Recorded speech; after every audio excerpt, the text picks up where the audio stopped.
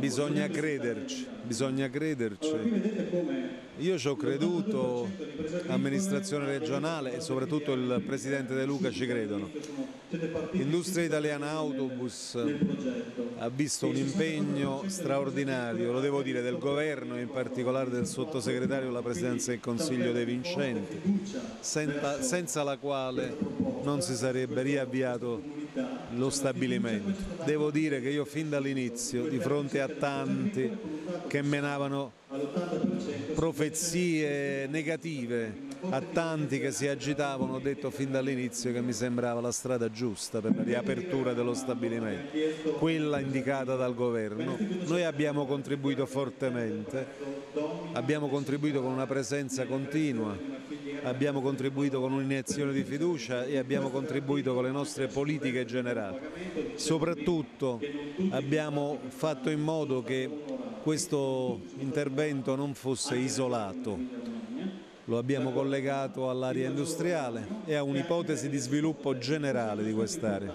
Tanto è vero che, oltre che la riapertura di Industria Italiana Autobus, che se verranno rispettate le indicazioni emerse nell'ultima riunione a Roma, già a gennaio-febbraio dovrà riassorbire i primi 40 lavoratori e cominciare a produrre scocche. E poi entro l'estate dovrà assorbire tutti e 397 i lavoratori e produrre un'iniziativa significativa di, nel comparto degli autobus, della produzione degli autobus e dell'autotrasporto in generale, beh, già questo è un elemento positivo al quale noi abbiamo aggiunto la possibilità di un collegamento ferroviario con la stazione Irpinea dell'alta capacità che sarà possibile realizzare in contemporanea con l'apertura della stazione rendendo immediati i collegamenti tra quest'area industriale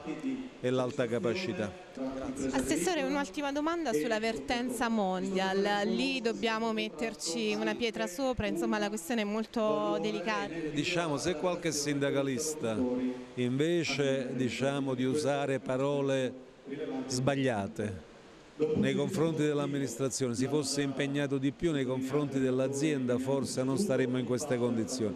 In ogni caso l'amministrazione regionale ha offerto all'impresa delle possibilità, l'impresa si è mossa in modo incerto e confuso.